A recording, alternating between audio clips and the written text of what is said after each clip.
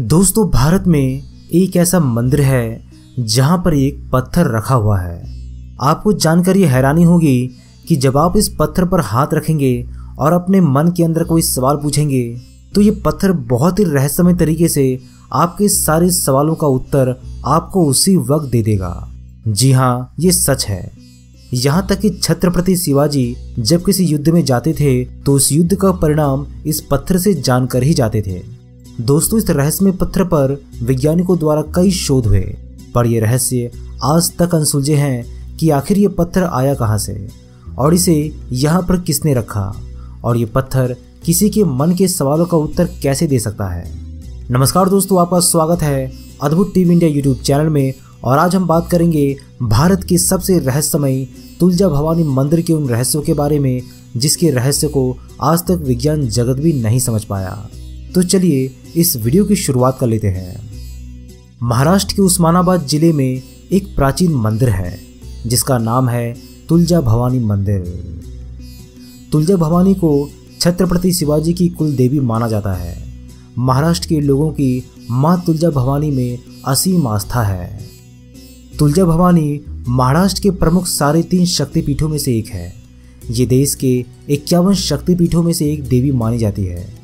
माँ तुलजा भवानी महिषासुर मर्दनी का ही एक रूप है। माँ तुलजा भवानी का वर्तमान मंदिर का निर्माण सत्रहवीं सदी का बताया जाता है। मंदिर के गुंबद पर अत्यंत सुंदर नक्काशी देखी जा सकती है।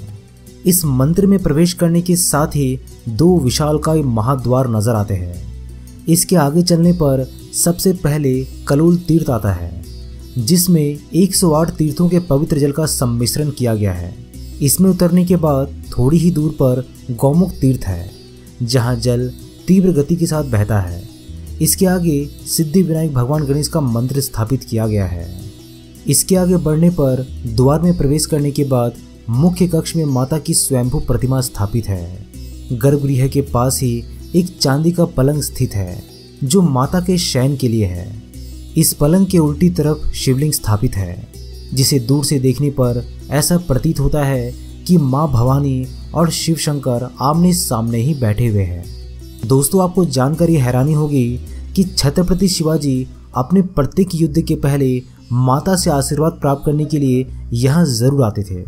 माँ ने प्रसन्न होकर धर्म की रक्षा करने के लिए माँ भवानी के नाम की तलवार शिवाजी को दी थी। इस तलवार के दम पर ही शिवाजी ने कई युद्ध जीत लिए।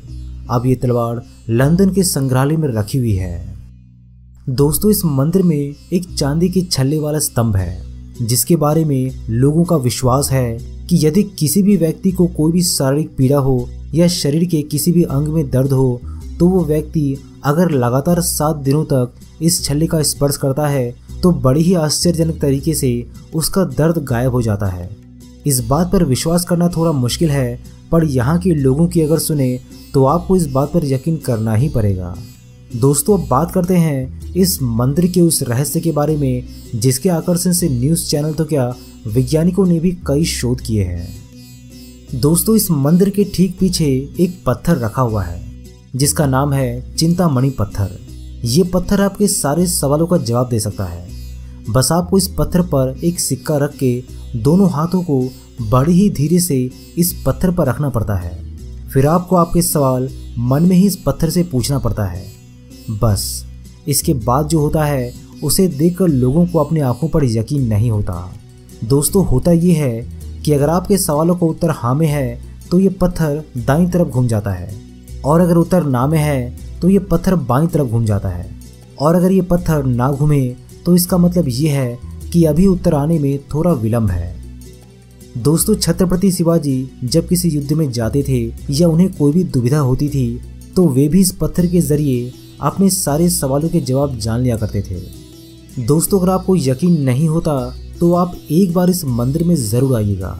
मैं दावे के साथ कह सकता हूँ कि आपको भी अपनी आँखों पर यकीन करना मुश्किल हो जाएगा। पर यहाँ जो होता है, उस पर यकीन करने की सिवाय कोई चारा भी नहीं है। दोस्तों, यहाँ तक आने का पूरा पता से लेकर और भी कई सारी जानकारियाँ हमने आपके लिए इस वीडियो के डिस्क्रिप्शन बॉक्स में मेंशन कर दी है।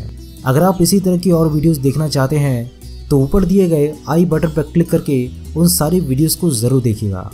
मैं हूँ आपका दोस्त प्रदीप, जल्दी मिलता हूँ आप सभी के साथ एक नए वीडियो के माध्यम से। तब तक के लिए अपना ख्याल रखिएगा।